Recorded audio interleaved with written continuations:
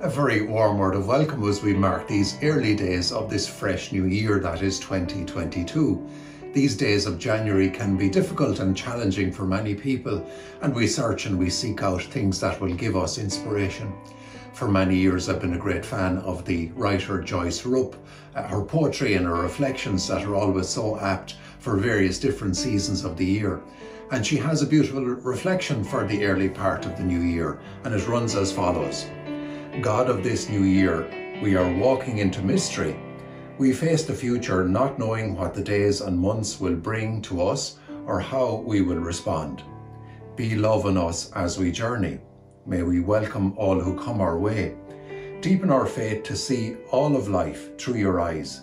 Fill us with hope and an abiding trust that you will dwell in our midst, in our joys and in our sorrows.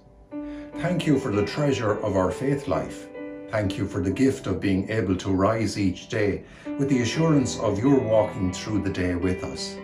God of this new year, we praise you. Amen. And may the God of this fresh new year be in your heart and soul this day and always. Amen.